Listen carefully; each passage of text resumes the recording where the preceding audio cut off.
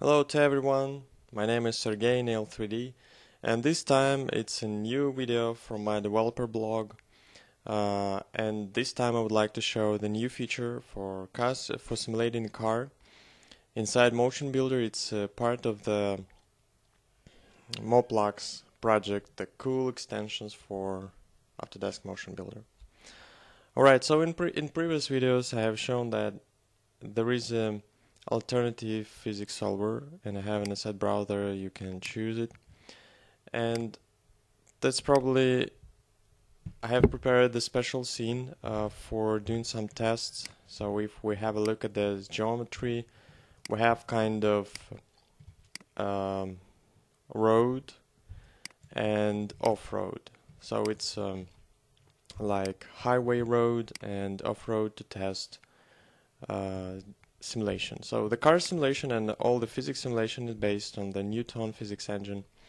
And I think it's uh, really very cool and uh, thanks for authors of that engine. So now in physical properties in asset browser we can see there is some physical property for supercar and uh, this supercar we can set up uh, like a preset or a lot of parameters that we can specify the behavior, uh, very realistic behavior of a car.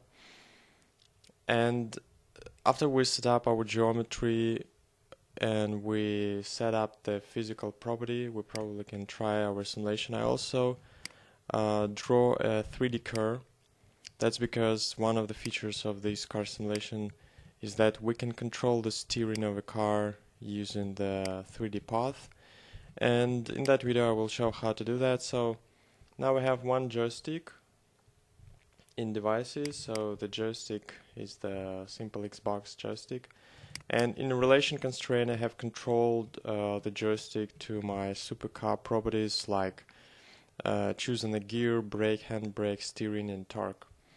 So it's like a gas pedal uh, and so let's go to physics simulation. So I'm activated and we can go to a camera which is connected to car to drive within. And I'm going to live mode. So now we have this car and with joystick I can control wheels and drive car. And probably that's uh, we can do and we can go off-road and we can specify the, a lot of things uh, around the behavior of a car. It's uh, something like a four wheels car like a Jeep or back wheels car and so on and so forth. So that's we can drive on the off-road. And let me show some interesting feature if I go to the very beginning and my supercar can turn on the use curve for steering and you will see that the steering is automatically aligned to the car. So now I'm just pushing the gas and um, nothing else. So what I'm actually doing is the pushing gas and the car is driving along the path. Alright so there is some kind of wobbling here and that's connected to the uh, desynchronization because now right now I'm recording a video and uh, while I'm doing that there is uh, kind of I don't know maybe with the threading.